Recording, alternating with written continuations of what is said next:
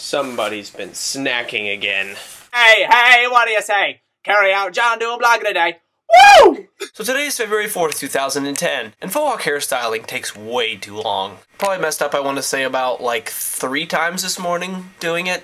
It just, it's kind of ridiculous. I still can't get it right. Anyways, I have class and then I have to go to work, which is dumb, so we should probably go there right now.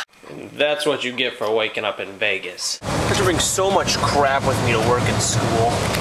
It's not even cool, it's just way too much to lug around. Well, we're here at work in the parking lot, and it's time to go push some carts. It's been like days since I've worked once again, since I don't really get scheduled. I get scheduled like on the weekends and once a day during the week, but whatever. It's time to work, so I'll see you guys afterwards. So I come back from work and I find this. A package from Charles Trippy. I wonder what it could be. This would be terribly difficult to open. We'll have to grab scissors. Alright, so I cut it open, and it is...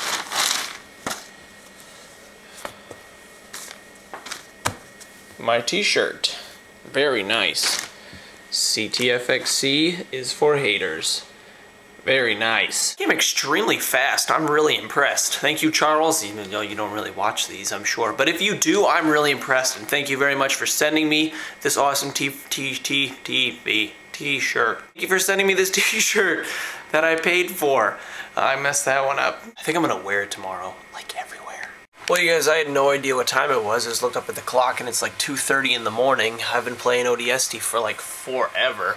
So I'm going to go to bed. So I will see you guys tomorrow. You like my shirt? It's pretty awesome. But yeah, I will see you guys tomorrow. I don't know if I said that already. Yeah, oh, I was going to say it again. this is Carry Out Jon. Peace and out.